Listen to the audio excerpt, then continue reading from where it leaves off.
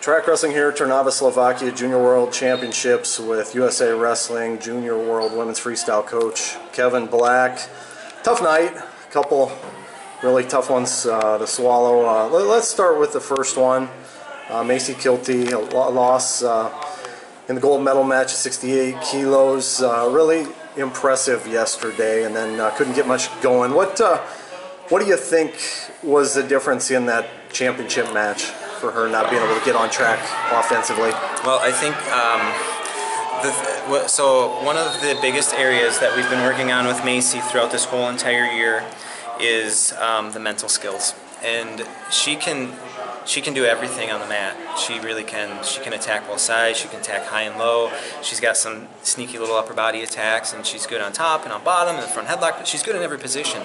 But I think what you know, a 17-year-old Macey Kilty still struggles with is some of the mental skills. And you know, we're not going to give away all the secrets and things we're working on, but um, I think that when when she goes back and looks at the video and and really tries to evaluate what happened, I don't know that she'll pinpoint a whole lot of technical things.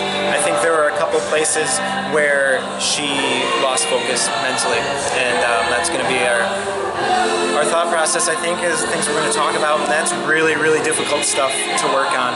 The, the single leg finish is easy, right? Um, it's going to be a hard, hard thing, and, and um, you know, it's going to really take Macey digging deep to to go to some vulnerable places for her with those mental skills. So, yeah, and and that girl's really good, and she just kept clearing the ties, and she knew how to wrestle, she knew how to win at the world level, and yeah, just got out wrestled. Yeah, a girl that's uh, finished third at senior level Russian nationals this year and returning junior world champ. Do you think that that played any part in that mental stuff you're talking about? I don't think so. Um, Macey's really never into that kind of stuff. I, um, I think that these this week she was a little tense, a little nervous, but she was before cadets, and you know she is before Fargo, and I think it was normal. Um, just just tension and anxiety for her.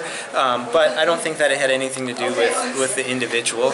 Um, she'll wrestle anybody in the world at any time, and um, just today it didn't didn't go her way. What positives can she take away from this tournament? Oh my goodness, a lot of positives. I think I think every time we come away from places like this, this is this is her first junior tournament, um, and she's right there.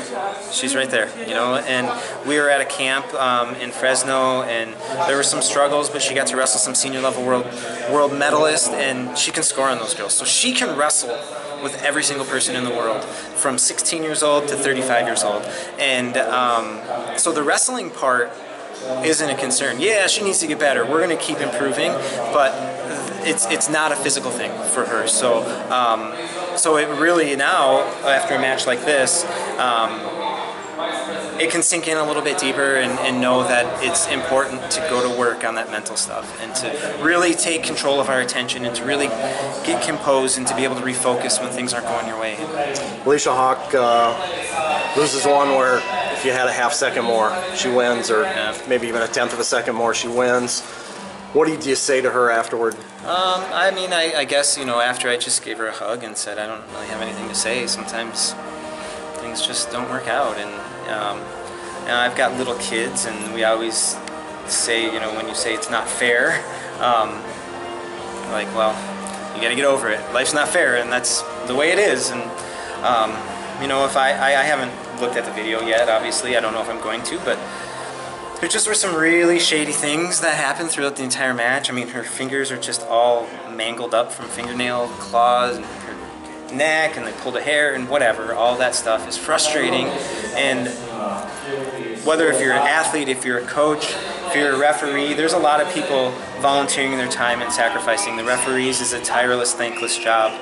And people can make mistakes, but when it feels like it's not a mistake, that's hard to swallow. And that's how I feel right now and um, I don't know if that there's anything we can do about it. Um, from a wrestling standpoint for Allie, there's just some little things. We spent four weeks really focused on what it took to be successful here. She gave up a four-pointer early in the match. You give up a four-pointer, it changes things at the end of the match, right? A takedown to tie, you're still behind on criteria.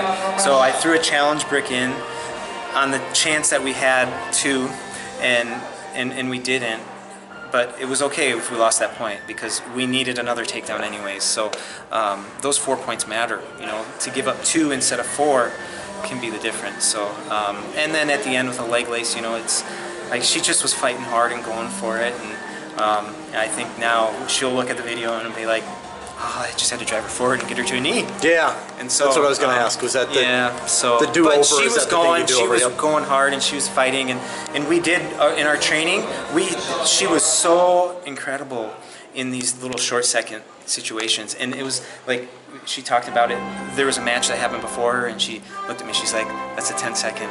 The 10 second stuff, and it was, and she scored, well, right, with 10.1 seconds, you know, but there's only 10 left, so What would bouncing back and, and winning a bronze tomorrow do for her? it'd be really, really important for us and for the program and for everything that we're doing. And um, both Macey and, and Allie came and we were prepared.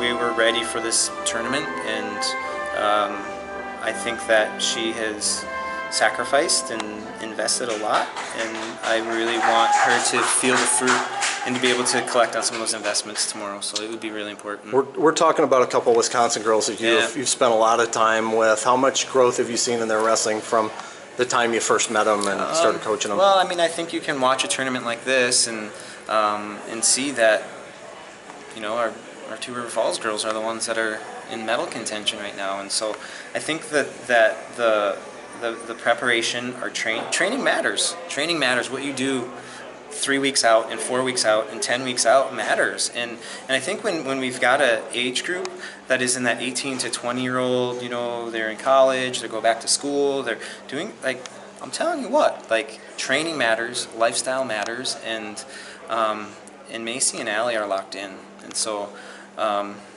I think that's why you, you see performances like they had here so far. And, you know, obviously Allie's not done, but they're prepared. They, and they're trained well and they're, they're ready for these events. You've spent a lot of time training great wrestlers. I mean, your relationship with Helen and what she's gone on to do and others as well. What characteristics do these two have that are special? Yeah. Um, so they, they both have a little bit of Helen, which is, is fun for me because I can identify those things and, and hopefully be able to fan the flames. And, and so, so for Macey, it is the attention to de- detail, like- like almost like a perfection perfectionist kind of um, attitude. And and, it, and it's good and it's bad right? And there's like sometimes our strengths are also our weaknesses. So sometimes for her it it pulls her back into if it's not perfect like it's just done. We're just done. It's like well no okay if it's not perfect well we got to still make sure 95% gets the job done instead of if it's not perfect well then it's zero. And and so that that's a working process for her. Um, but and, and Helen was the same way. Like perfect, perfect, perfect, perfect. Didn't take a day off in practice. Like everything mattered. The way that she drilled, the way that executed, everything mattered. So Macey's got some of that perfection mindset, and um, when she gets to a place, I think it's just a growth thing. When she gets to a place where she knows for sure that every second matters in practice, no matter who she's wrestling, no matter what the situation is, no matter if she feels good or if she feels bad, it's going to be scary, scary good. Um, Allie, it's like it's like is almost on the opposite side. Like she's not a perfectionist, and like she wants to succeed and be perfect. But one of the things about her that reminds me a lot of Helen is she just she has this really really strong um, sense of vulnerability, and she's willing to go places mentally, emotionally, physically that are uncomfortable because it's going to help her become a better person um, and a better wrestler and a better daughter and a better friend and all of those sorts of things and, and she's willing to put it on the line. You know she's secure in who she is.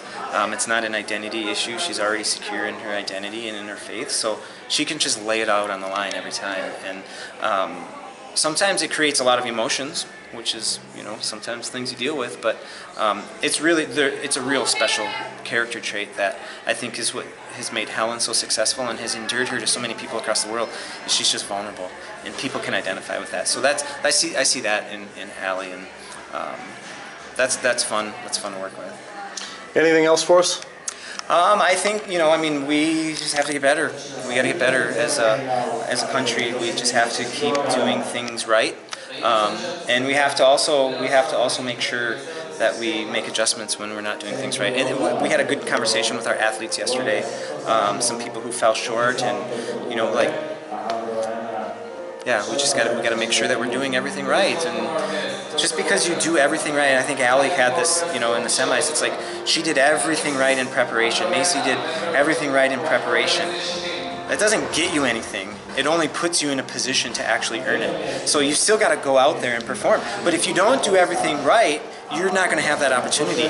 And so that I mean that's that that's what these two girls learned, and that's what we're going to go back to Brook Falls and talk about. Is like you can do everything right. You can train. You can have it all, all your ducks in a row. Feel good. And it's only going to give you the opportunity to get the things that you're working for. You know, if you don't do everything right, you're not even going to get the opportunity. You know, then it's pie in the sky. And so, so that that that's the takeaway too for Team USA. It's like you got to do everything right if you even want the opportunity to try to win the medal on that night.